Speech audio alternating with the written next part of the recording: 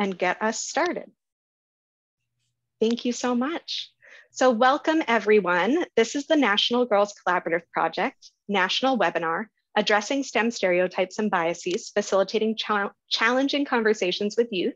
I'm Marissa Garcia. I am a senior program developer with the National Girls Collaborative Project.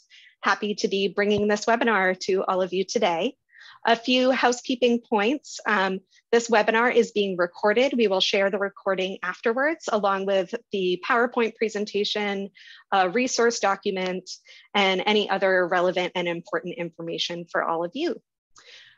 Live transcription is turned on. If you would like to see it on your um, screen, you can click the dot, dot, dot more button and have that appear for you on your screen. You can also see, see select see full transcript and see kind of the history of the conversation as it goes along.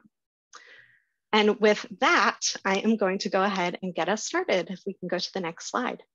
And I will end our poll. Thank you for responding. The vision of the National Girls Collaborative Project is to support and create science, technology, engineering, and mathematics, STEM, experiences that are as diverse as the world we live in. To do this, NGCP connects, creates, and collaborates with a network of advocates to promote equity and transform STEM for all girls and youth. NGCP exists because today's STEM experiences continue to lack diversity. Many young people do not identify with the field.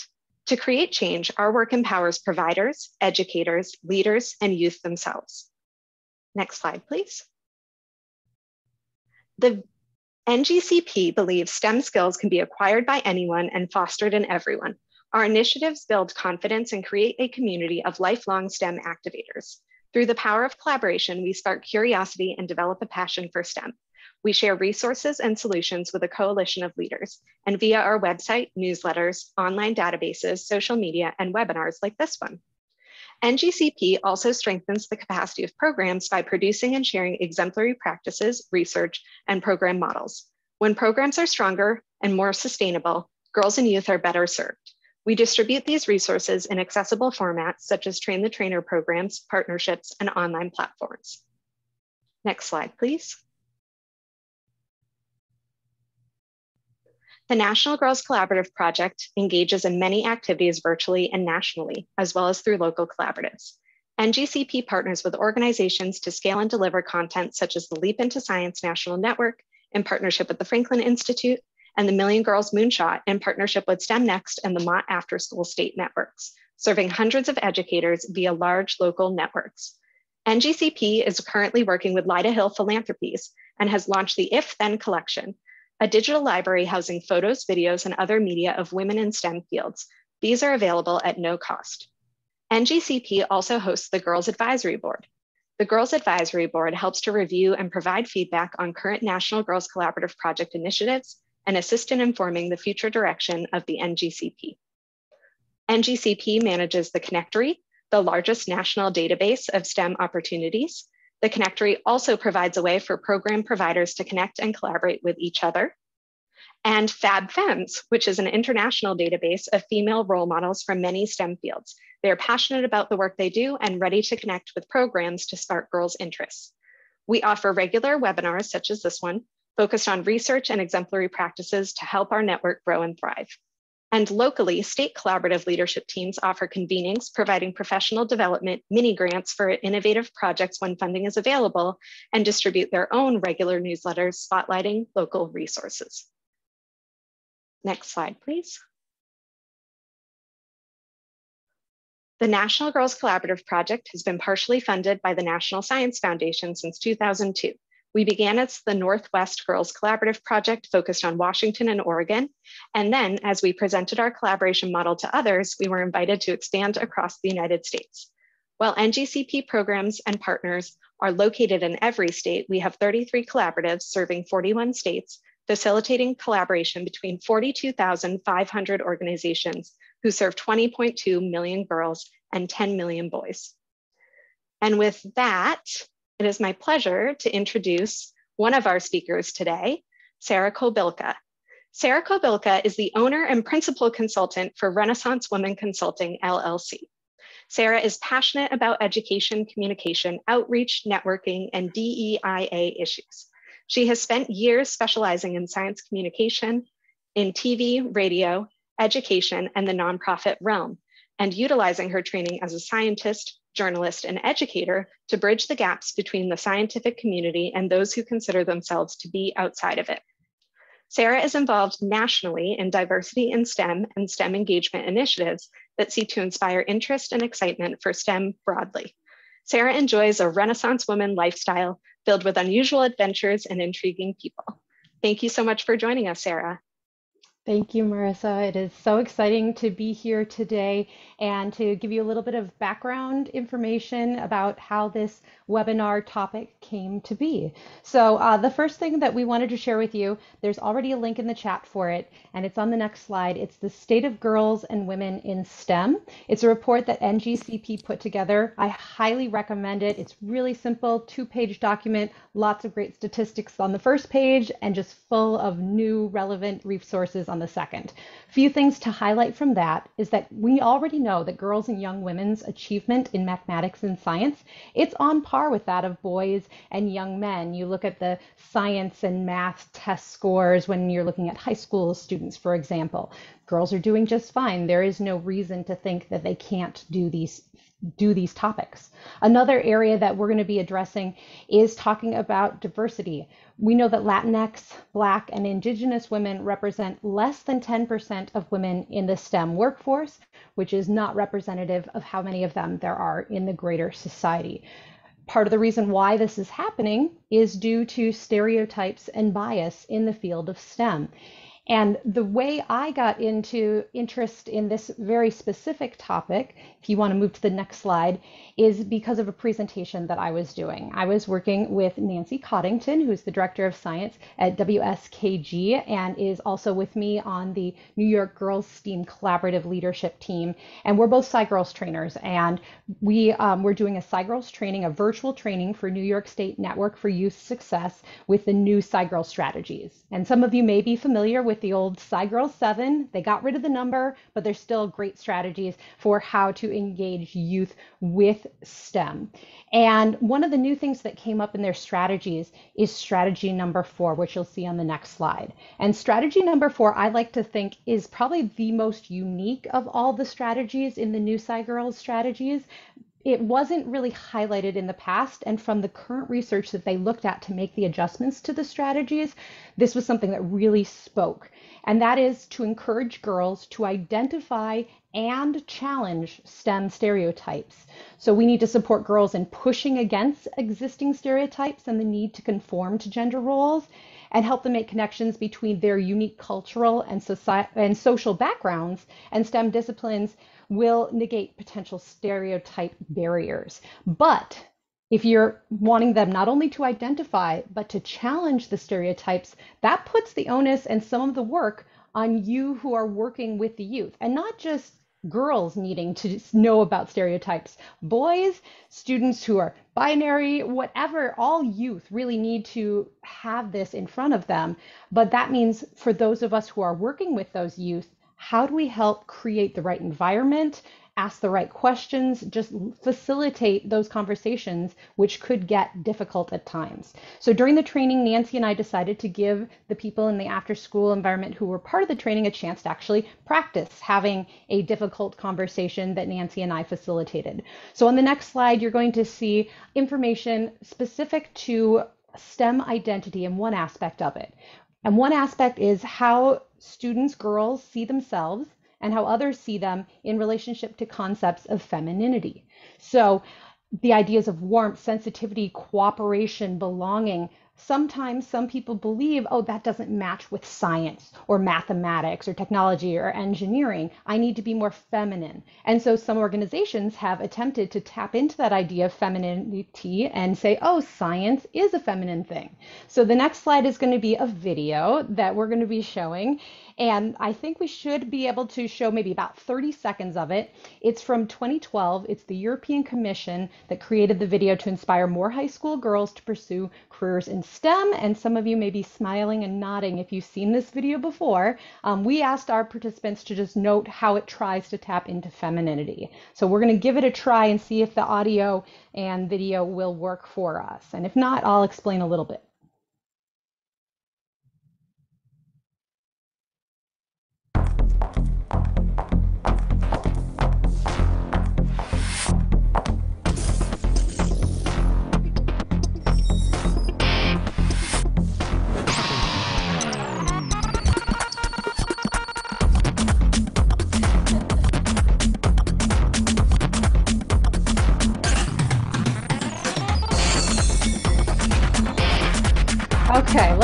Pause.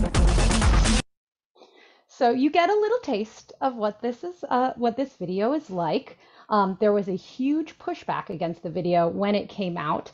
But what we did is we showed the video and we had a conversation with all of our participants. And a number of them may have responded in the way that some of you have responded. Maybe you felt that there was a sexualization of the women. The man is the one doing science, the women are just striking poses some a lot of us have had that negative response but we had people who said wait no i always thought you know being a chemist was a boy thing but they're doing makeup that appeals to me and so it did touch on femininity for them. So nancy and i had the opportunity to kind of lead that delicate conversation where everybody's perspective was respected.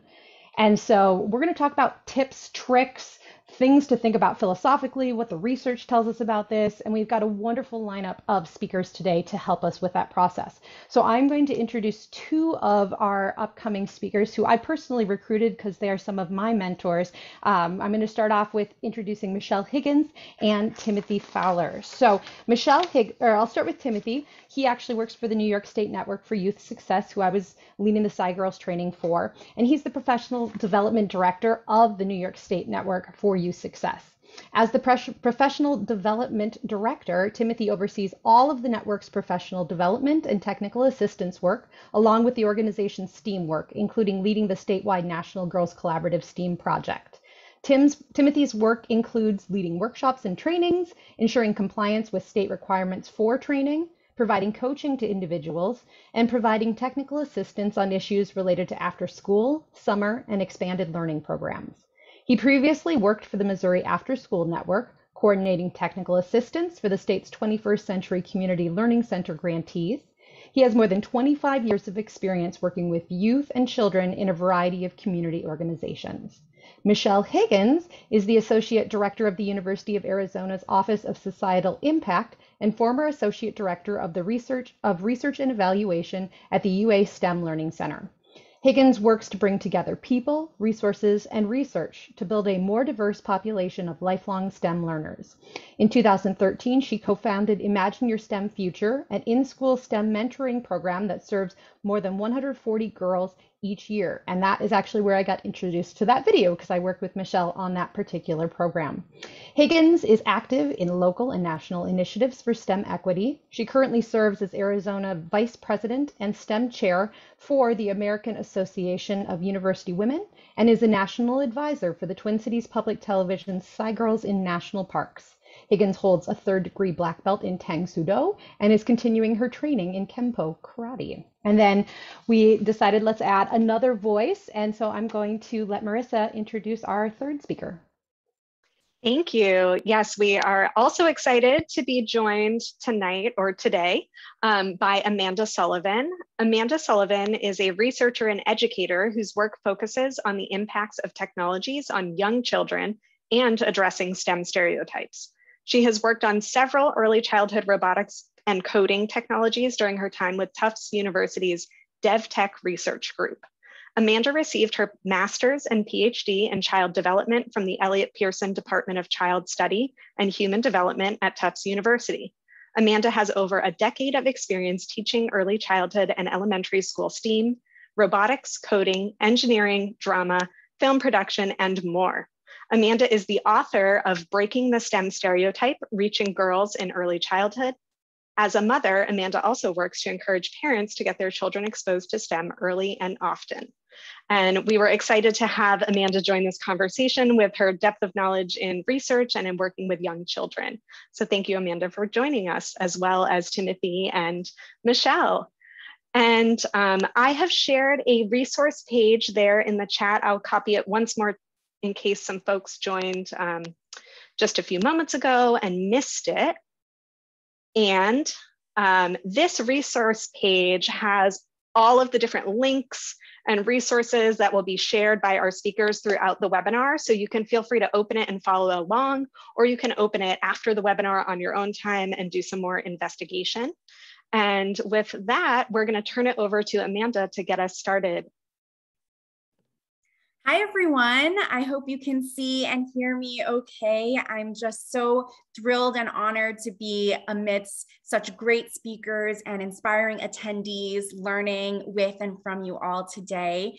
I'm here to talk a little bit about my work at the early childhood level as it pertains to stereotypes and how stereotypes might impact girls and youth in general, their interest and their behaviors towards STEM and technology at an early age.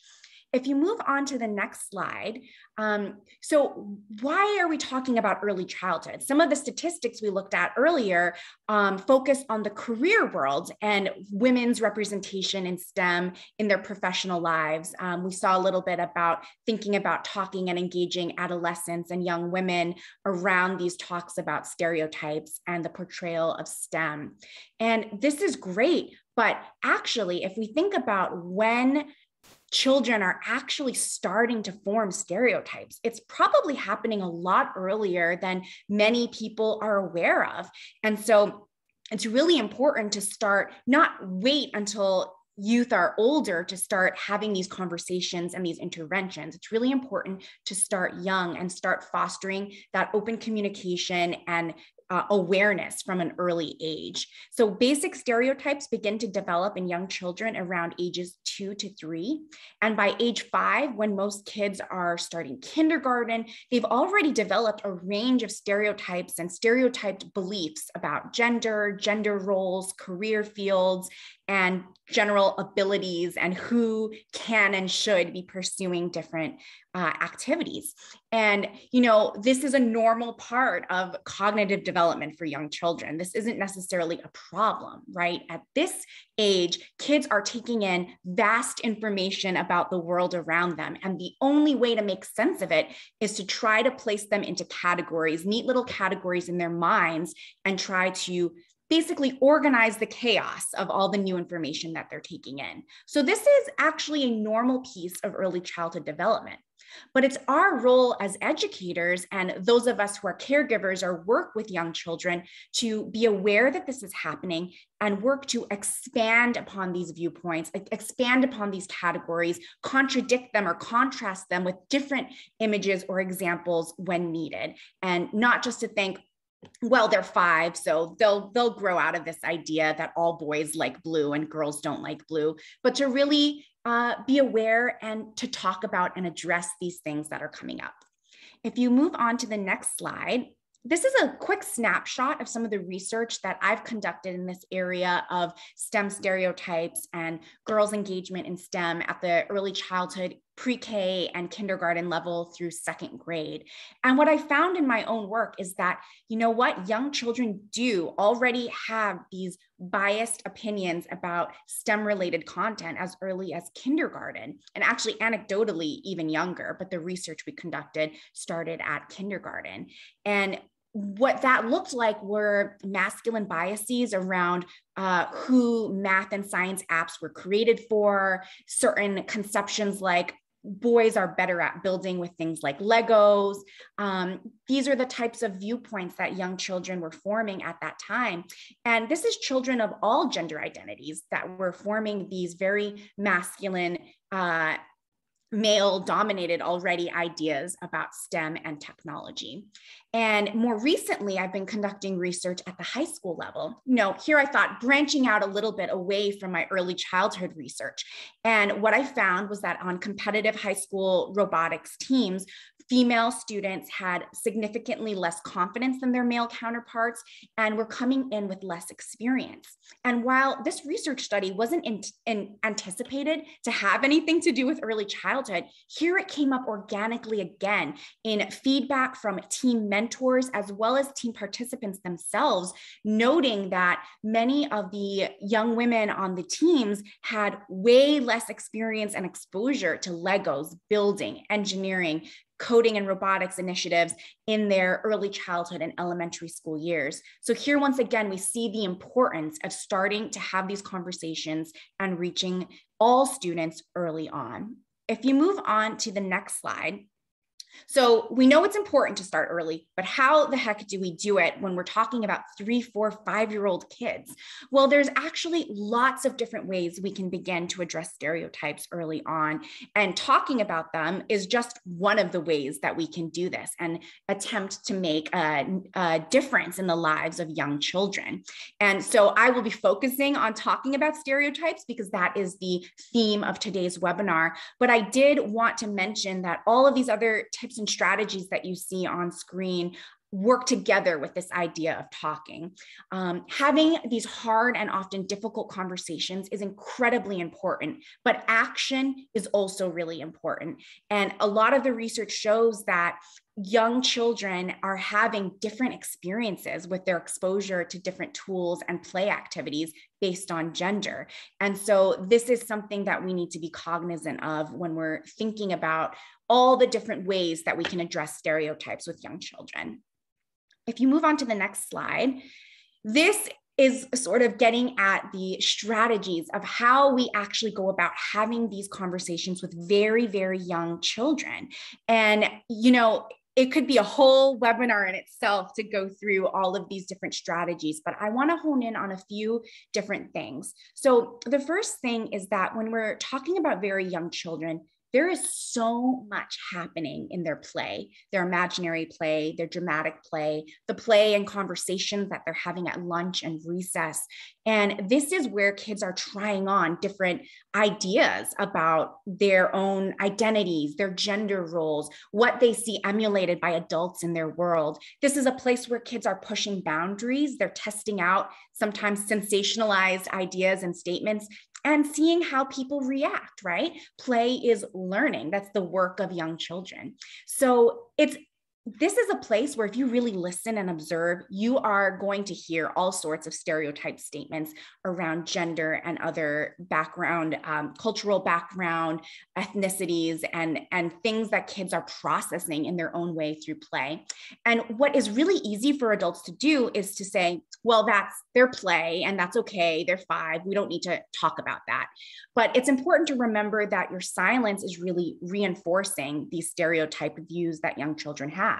Remember, I mentioned they're starting with these neat little categories and our work is to expand upon them. So be sure to be listening into the play and bringing in themes actions ideas that you're seeing into conversations into circle time discussions morning meetings finding books picture books. I'll show some suggestions later on that can contrast and expand upon some of the things that you're hearing kids say the other thing to remember when you're having these conversations with young children is that our language choice is really important.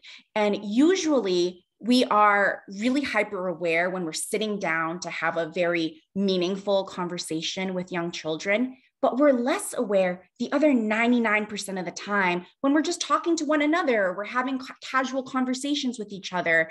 And so it's important to remember that young children are always listening and observing.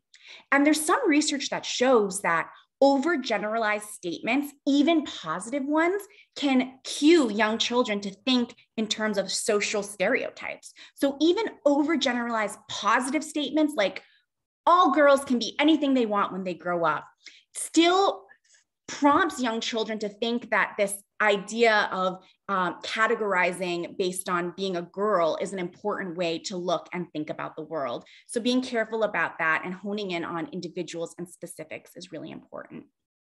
But there's no way around the fact that having these conversations with young children is often very difficult. And I know, I, I believe as a mom and an educator that this is because we don't want to believe that the students and the kids that we care about are growing up in an unjust or unfair world. But the sad truth is that they are.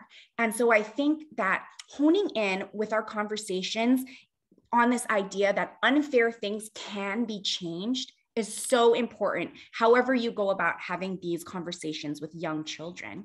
And even at this young, early childhood age, we can engage them as agents of change. So, whatever injustice or stereotype or bias you, you've brought to the table and you're, you're talking about with your youth, try to end those conversations with what is one thing that we can do to address this? What is one change that we each can make to positively impact this, this unfair thing that we've been talking about?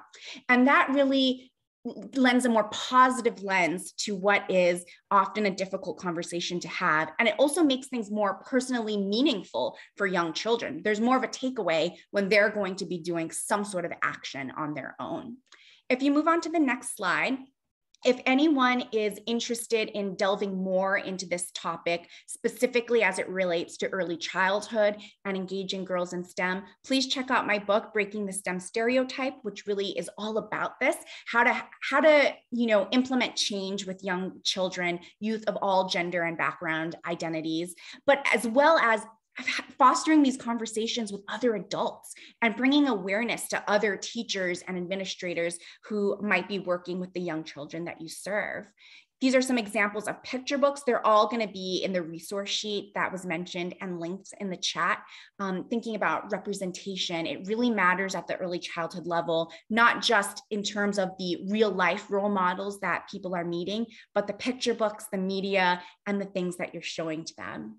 If you move on to the next slide, if anyone is interested in keeping in contact and thinking and talking about this more, please feel free to shoot me an email or connect with me on the web or social media. And I'm uh, really excited to hear some of your thoughts in the chat and at the Q&A later on. But now I'm gonna throw it over to our next amazing speaker that we have. Thanks so much. I'm really um, excited to be here and to um, really learn from you all. So um, I just wanted to say that before going to the U of A, I spent about 10 years um, doing science and engineering programs for um, girls and their families at Girl Scouts of Southern Arizona. And that's where I really got a, a great foundation on working with girls in STEM. And so I'm truly a per- program person at heart. And when I think about um, having conversations with girls, difficult conversations or sensitive conversations, I think about what activity do I need to do and what is the space going to look like. Um, and so I want to just share with you today how I think about engineering spaces for conversations with girls. Next slide. So I have a two pronged approach, and um, I'm doing my best to lay this all out for you all because I think this just kind of happens in my head. This, I normally don't follow something that is as formal as this present presentation, but I wanted to capture kind of my thought processes. So I start with the Girl Scout leadership framework as a framework for my activities. And then I layer that with what, so what, now what questioning strategy. And I will go over each of these pieces. So next slide. So um, this framework is really about um, how we do activities with girls. And all activities uh, incorporate opportunities for girls to discover, um, connect, and take action girls begin to discover about themselves, their values, their own potential, and how they're going to use their knowledge and skills to move through the world. When the focus of the activity is on their own self-discovery, it opens a door for conversations that also explore challenges they may encounter, such as stereotypes, um, biased expectations from others, or even conflicting values. Um, girls connect with others who have similar values and interests. So we often um, bring in women um, who are professionals in STEM to be mentors in the classroom, to facilitate activities or sit on um, panels. And this opens up a line of communication for the girls. Um, they can ask questions about what it's like to be a woman in a STEM career. And then girls take action to make uh, positive changes in the world these types of activities require girls to really think about and assess the roots of problems that they notice and want to do something about. And this really means having conversations that challenge the status quo. And girls are often looking at things that happen in their own neighborhoods and asking questions about um, who has access and who doesn't. Why is that so? And who makes these types of choices? So these activities um, that follow Discover, Connect, and Take Action not only allow the conversations to happen, but it really puts the girl at the center of the conversation and the one who's going to be driving the questions. Okay, next slide. So Discover, Connect, and Take Action can happen when activities are girl-led and involve learn by doing and cooperative learning. These activities have been shown to produce particular outcomes under Discover, Connect, and Take Action.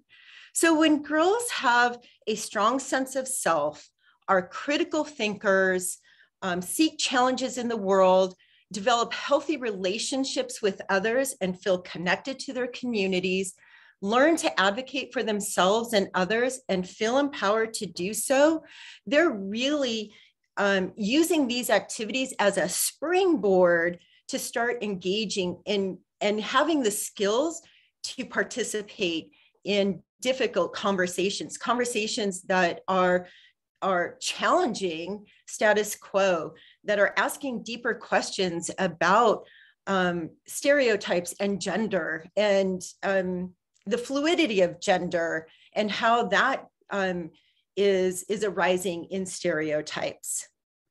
Okay, next slide.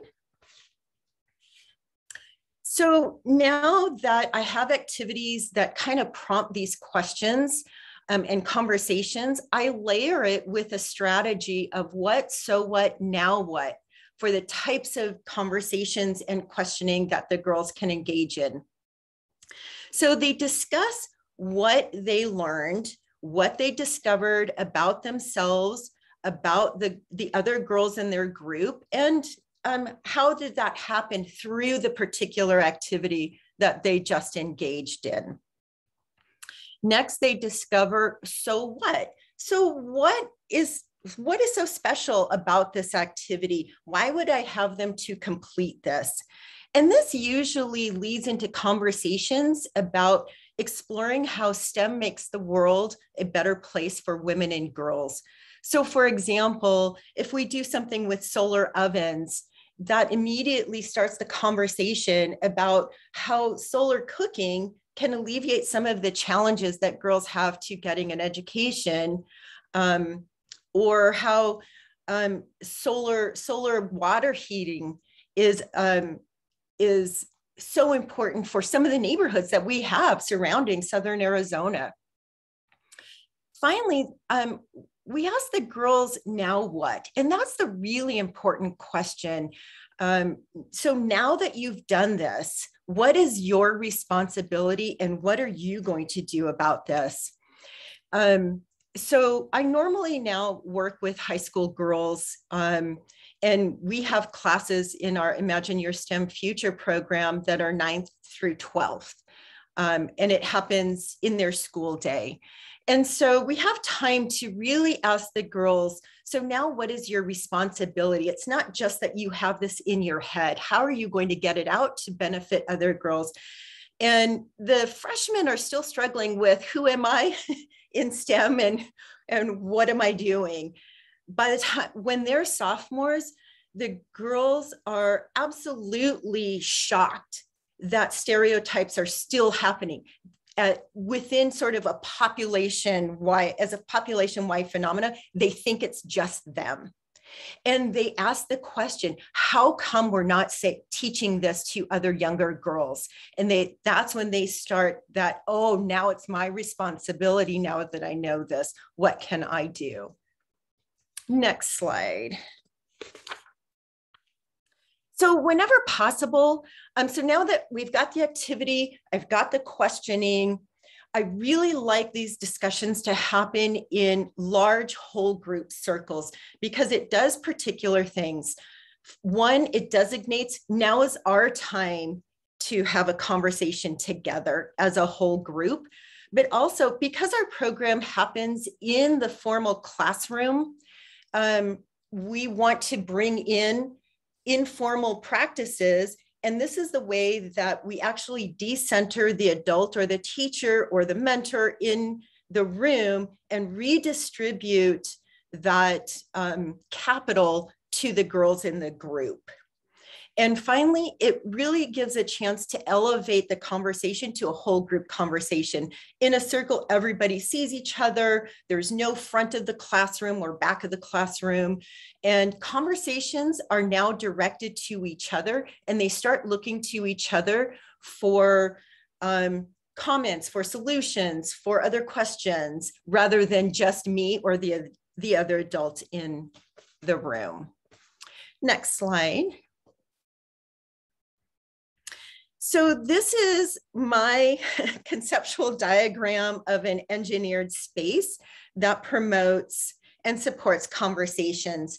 So when activities focus on discovering, connecting, and taking action and include um, girl-led, uh, learn by doing and cooperative learning opportunities, followed with questions of what, so what, and now what, and they take place in a circle I really started to make some observations about girls and their conversations in STEM. One, they have a lot of questions about equity in STEM. Um, I hear every year, even from girls who are in 12th grade, I thought this was resolved a long time ago. Why are we still having this conversation? Two, where are the boys in this conversation? How come the boys aren't at the table with us? And they want the time and the space to to think think it through and have a discussion about it and not be told about it. They want to be the ones asking the questions. And some of the outcomes that i've seen that have happened from this is that um, they want to do hands-on activities for other girls. I think they're trying to create that space for elementary and middle school girls that they've experienced. Um, they started making presentations at elementary and middle schools and talking about why it's important to take science and math classes. Um, I don't know if you remember the hashtag I look like an engineer campaign. Um, girls have started the hashtag I look like a STEM student to get the word out. And then they also uh, enjoy participating on panels uh, at school and in their communities. Next slide. Yep, that's it. So thank you so much for just allowing me to share like my thought process of what I do just to have those conversations with girls. And now it's my turn to hand it off to Mr. Timothy Fowler. Hey, that's me. Hi, everybody. I'm Timothy. Uh, I'm working for the New York State Network for Youth Success. We are the statewide after school intermediary in New York, but you may know us as NYSAN. Uh, our quality self-assessment tool uh, has been shared in uh, other states and around the country. So that's who we are. If we can go to the next slide. Um, so this, the information that I'm going to share with you is based on practical experience. A lot of what I've learned has been through doing and through practical application of a lot of what's talking about. So I started as a peer mediator in high school. So I really learned how to listen and try to understand what's going on behind the conversation to help solve conflict. Uh, I became a peer counselor in college where I learned how to listen for emotions and how to help people in crisis um, work through that crisis and connect to resources. Uh, then I started doing youth work and I actually worked in an early childhood classroom that used an anti-bias curriculum. So while Amanda was talking, I was like, yes, testify, more, more, we need more of this. Um, but that led me to start working with other age groups because I was like, this is really important work. Like we should be stopping bias and stereotyping everywhere. So I began working with organizations like the National Conference for Community and Justice to do that work with adults and with teens. So I've been doing that since 1994. And then finally in 2002, I got to connect my world of youth work and my world of facilitation uh, and do professional development full time with youth serving organizations. So since then, of course, I've been doing a lot of facilitation, a lot of training, and really building on all of those skills. So that's some of what I'm going to share with you today is what does it mean to tackle tough conversations when you've got a mixed group? You've got uh, men and women, and you're talking about sexism. You've got people who are transgender and people who are cisgender, and you're trying to tackle out gender identity. How do you do that? I tried to advance my own slide, so if we could advance the slide for me, that would be great. Uh, so one of the things that I shared in the resources is just setting the tone. A lot of work happens behind the scenes so that you can have a productive conversation. And I really appreciate that Amanda and Michelle touched on some of those elements like sitting in a circle, uh, making sure that you're addressing the issue and not just hoping it disappears by staying silent. So setting the environment is a big piece of it. I really love creating norms with the group I'm working with. So even with adults, sometimes I will say, how are we going to support each other? How are we going to create a positive learning environment? And depending on the age group, I may say, what are the rules that we're going to live by? Because even kids as young as three and four can tell you the rules that they've been taught, you know? So they don't need me to lay rules down on them. We can co-create them and, and then work from there. And that creates a lot of guidance and boundaries for us so that we remember how to treat each other because we talked about it before it was a problem. Youth voice is critical. So co-creating those kinds of norms with young people's participation is important for a couple of reasons. One, it doesn't put the adults in power. It says young people have power too. And if I'm the only adult in the room, it says white men aren't the only ones with power. You have the power. So we share the authority together I'm still going to say, hey, let's make sure we're being safe because that's my legal requirement as a person working with youth. But I'm also going to say, what else do you need? What do you think is good? And that has equal weight as we work through those things. So that should also be happening in activities. So when Michelle was talking about how uh, girls get engaged in activities, young people should have decision making throughout all stages of the process. What activities are we going to do? What projects are we going to do? What's the form of those projects? Uh, all of that decision making is a great skill. Giving young people the chance to make decisions for themselves really is a good skill for them to make other decisions in their life. They know how to do it, they know how to collaborate, they know how to work as a team. So that skill building should also be a big piece of it. If I get them to have a conversation about what are our norms going to be, they learn how to stand up for their own ideas, but they also learn how to listen to other ideas. So all of this stuff snowballs. It all happens in a very complex way throughout the social interactions. And all of this is about identity development. This is really about who am I? How do I show up? It's not only about our demographics, it's also about our personalities. It's about how we view ourselves. It's about how we want to be in the world and taking action to become that person. So this is all part and parcel of working with you. Next slide, please. So one strategy that I have done with groups is caucus groups, where sometimes if you have a mixed group, and mixed can be any number of criteria, it's important to separate those groups. So I'm going to give an example around uh, sex. So if uh, we have a group that's diverse around sex identity, I may have three groups. I may have a group of people who identify as male bodied, I may have a group that identifies female bodied, and I may have a group that identifies intersex or doesn't want to say where they sit. So that works if you have a critical mass for each group. So I don't necessarily use caucus groups if I know that one of my group is going to have one person, because then you're really just isolating that person and making them feel like they're standing out for whatever the purpose is. But the purpose, if you can divide groups up, is to let groups do their own work. So if we're talking about sex, we're also talking about sexism.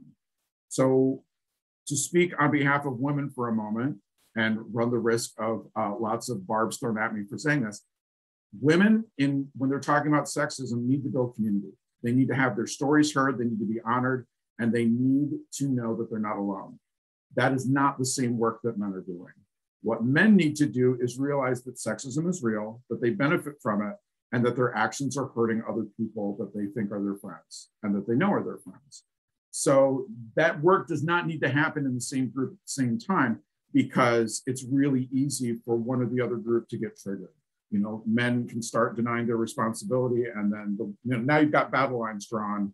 Uh, and meanwhile, people who are intersex are completely left out of the conversation. So having that kind of conversation, there's work that needs to be done.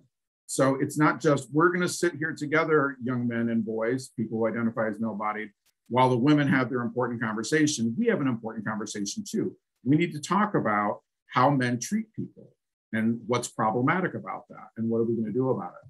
One of the resources that I shared in the uh, notes is uh, an educator and writer named Paul Kivel, who is a youth worker in the Oakland area, who in working with young men of color came, you know, had to confront toxic masculinity in the lives of the young men he was serving. He also had to confront racism because he was a white Jewish man working with a primarily African American and uh, Latino population. And so, in really uncovering and reflecting all of that, had a lot of strategies for really addressing this with the group and helping them realize uh, how they were impacted by sexism and how they could work against it and really become allies, but also how it hurt them in a lot of clear ways. So I mentioned him because I got to see him uh, read his books, but also go through some workshops with him when I was working with teens. And it really changed my approach and made it more active. Uh, a lot of my training up to that point had been dialogue. Let's talk about it. Let's talk about it forever. And so, really saying, now let's do an activity, let's explore this, let's experience it, let's try to see things from the other person's perspective by doing activities and doing experiences was really uh, helpful for me because I would never just talk about STEM with a group, we would do it, we would get engaged. So a lot of this work is about how do we treat others and how do others treat us and what works and what doesn't in all of that. So this work can happen as a, as a group together. So another strategy can be to do fish bowls. So I can say, if you identify as male body, come to the middle, we're gonna form a circle. Everyone else is gonna form a circle around us. They're gonna be quiet and they're gonna observe and witness the conversation. And that can be really powerful because then men can hear what women have to go through on a daily basis. Women can hear how clueless the men are, but how, you know, they want to help. They just have no idea because they've been taught not to notice, not to pay attention. And so that can really help build some bridges, but they're important conversations to have um, so that we realize that part of our problem is we're talking from completely different points and that can bog down the conversation, right? It inhibits progress. Next slide. So some things I've found really helpful as a facilitator is to recognize all the different ways that people deny accountability when we have these tough conversations.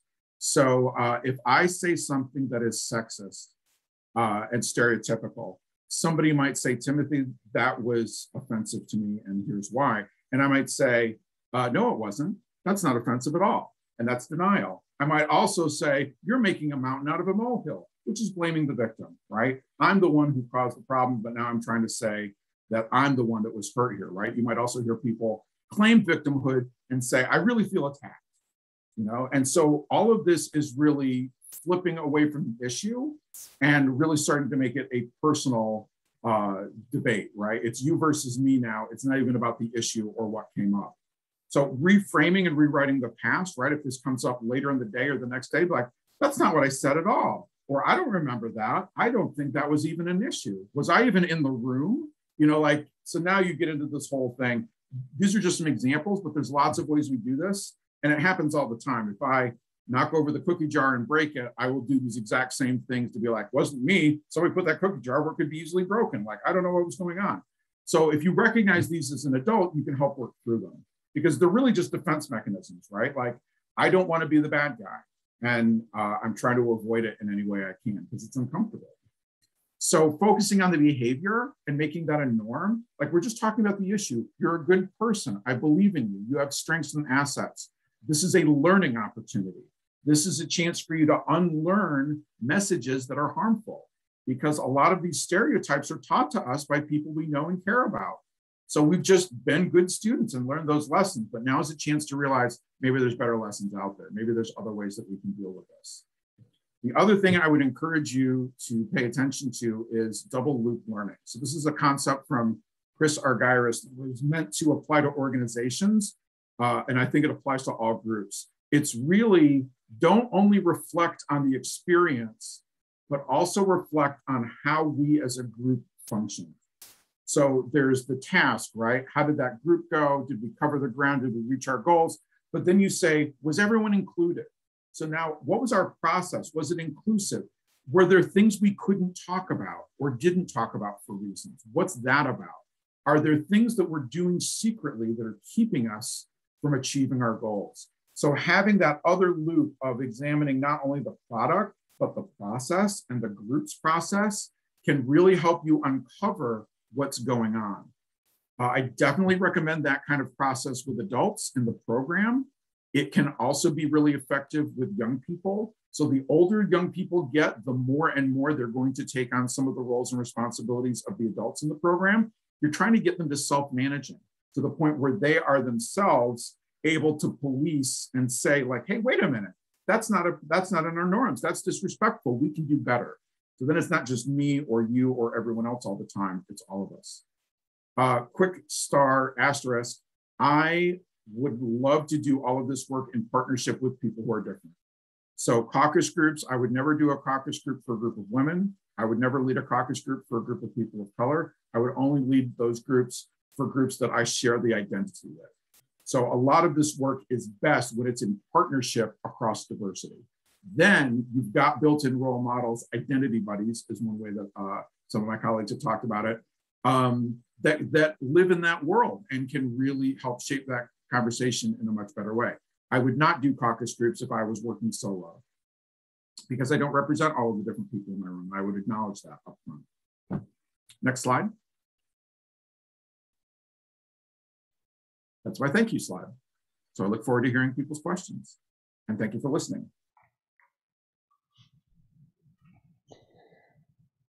And stay connected. And I'm going to jump in um, with just a little bit more information from what Nancy and I pulled together when we were originally putting together uh, this topic, facilitating difficult conversations with youth for um, for SciGirls. And I literally did a Google search of that exact term. And one of the first things I came up with is the website Peace Learner.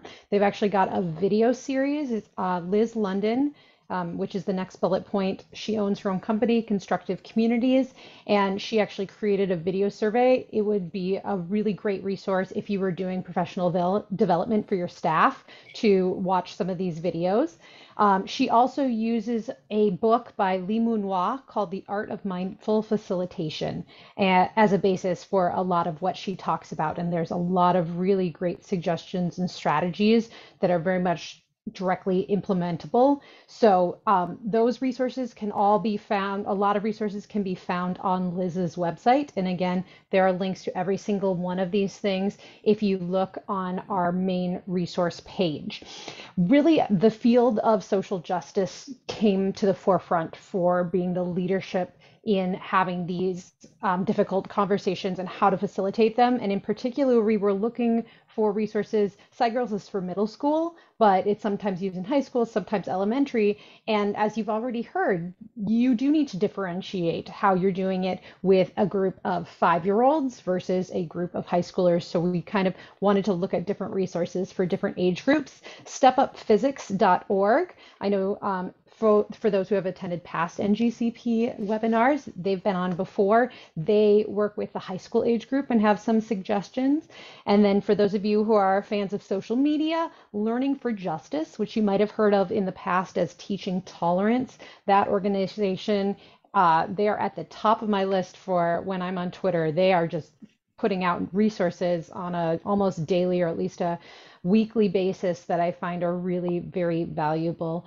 And um, they also have their website, Learning for Justice, and in the classroom resources tab, there are specifically teaching strategies that you can implement. And on the next slide, you're going to see something from Step Up Physics. This is actually a poster that they've created that they have um, for those physics teachers who are part of their program to hang in their classroom. So that's another thing to think about. Um, Timothy talked about creating those norms you can create those norms, but also make sure to have them visible. And so that when problems come up, you can reference back to them and to kind of just bring it all together.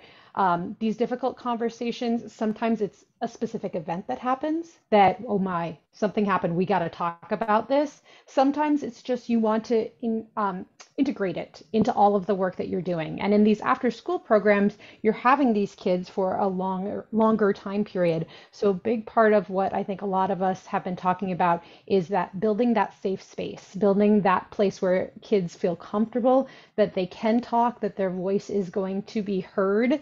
If you try to do this super difficult conversation, the very first day that you have a group of in my case with Michelle we had a group of high school freshman girls. And not was not only was it a little bit difficult that very first day much of the first semester it was hard. It takes time to build these types of safe environments um, but a lot of great resources have been shared that can help you. And so i am going to pass this on to marissa so that we can jump right now into our q&a Thank you. Yes, we are, we're running a little tight on time. I'll invite Kata to stop sharing screen so we can see each other. Um, and some questions came through the chat, but if other folks have questions you'd like to ask live, please use the uh, hand raise reaction uh, feature in Zoom, and we'll invite you to unmute. You can also just type in the chat and say, hi, I have a question, I wanna ask it live. Um, but one question we had coming through was specifically for Amanda, the papers that you referenced in your slides, are those available to download for free or is there a subscription or um, behind a paywall for those? I think they should all be available for free with the links that you click. But if for whatever reason the link doesn't take you and it just takes you to the abstract, feel free to email me um, at amanda.sullivan at tufts.edu and I'll be happy to share um, anything with you. And on my website, I have a list of my full publications, and 98% of them are about this specific topic. Thank you. Um, and thank you for generously sharing those uh, research or research papers with us. That's fantastic. Uh, we had another question that was kind of more general.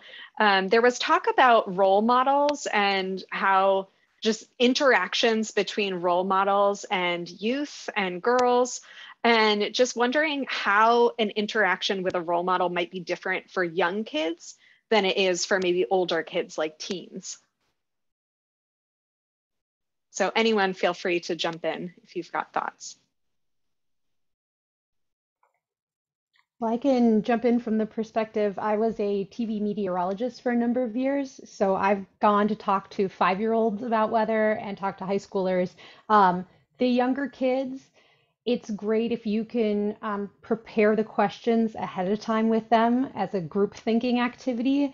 Um, in the moment, it's usually they just want this one time and it's a story, or um, it's just you know what's your favorite part of your job? So you don't necessarily get asked the questions that allow you to talk about um, biases you might have encountered or stereotypes whereas the the older the kids i found the more likely they are to start to ask um, those more deep questions especially as they're getting to that sophomore junior year when they really are starting to push to think about what career do i want to have? What do i want my life to look like yeah, to echo what Sarah just said, I think at the early childhood level, just seeing role models of different backgrounds, identities, and cultures is the important piece. Um, bringing in scientists, engineers, and coders who represent different ways to look at and identify with STEM, that's the critical piece. As, and as she said, those very specific conversations around stereotypes might tend might start to develop a little bit later. And also um, if if you can ever bring in someone that brings in a physical artifact i think that really uh, helps with young children. So when i come visit i try to bring like a technology that i worked on or a first prototype of it where it didn't work and it looked completely different. Anything that they can get their hands on will help resonate more connecting that role model or that speaker with whatever career or topic that you're brought in to, to talk about Thank you so much. And we are we are actually one minute past our time, so I think we're going to have to wrap it up. This was such a robust um, conversation and presentation. So thank you to our speakers, Sarah, Timothy, Amanda, and Michelle for sharing your insights. We really appreciate having you here. Um, I know my mind is kind of swimming with all of these great strategies and tips and resources, and I appreciated Timothy's um, focus on the end of his presentation on reflection, because I feel like I need to take that time for myself to really let this kind of soak in and, and see how it might apply to the work that I am doing. Um, I know some more questions were coming through in the chat. I believe all of our speakers shared their contact information in the slides you will receive a PDF of these slides. So they have graciously agreed to um, have you reach out to them if you have a specific question for anyone. Um, so feel free to use those contact emails and um, Twitters and websites and all of that to reach out and learn more. And with that, we would just like to let you know about two upcoming National Girls Collaborative project events. We have a webinar with Tecnolochicas, Transforming the T in STEM on October 5th. And we have a webinar, Bright 2021, sharing strategies and learnings from an online summer STEM program for girls. So we hope to see you again at a future NGCP webinar. When you leave Zoom, a um, window should pop up with a survey, and there it is from Kata in the chat as well. Thank you, Kata. Um, please take a moment to fill out the survey. Let us know how this webinar was for you. We also invite you to share topics and ideas for future webinars. That's how this very webinar came to be. Um, Sarah graciously reached out to us and said, hey, I have an idea. Can we connect and make it happen? And, and here we are today. So we really listen to those surveys. We take your advice, we take your ideas, and we love to collaborate with you in our network to bring them to you and make them happen. So thank you everyone and have a great rest of your day.